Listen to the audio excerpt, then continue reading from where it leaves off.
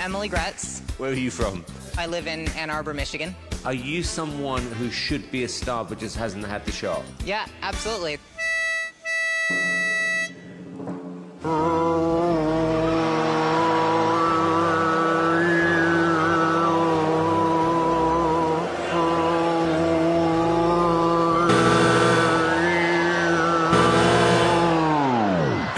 Imagine anyone going to a concert listening to you make that noise for two hours?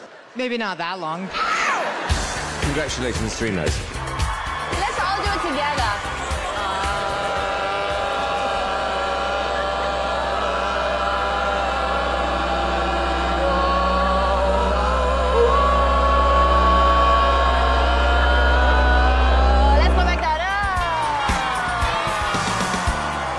First time you hear it, you don't like it, then you can't get it out of your head.